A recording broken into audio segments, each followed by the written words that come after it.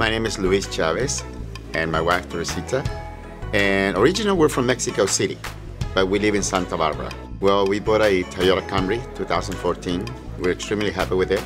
And we just came in for the first 5,000 service. I guess it was destiny because I was just driving by and I saw Toyota and I wanted to buy the car. And I came in just to ask. Being 65, I decided to buy a car that will last me long enough after retirement. And of course, the only car that I can think of like that is a Toyota. I uh, even became friends with a salesperson. His name is Raul, and he did a fantastic job. Yes, very nice, very polite, and uh, he informed me about everything, so I was very happy.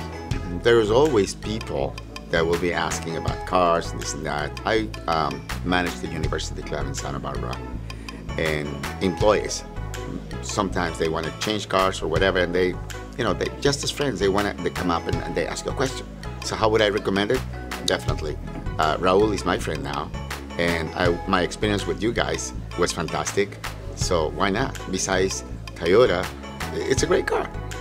No question about that.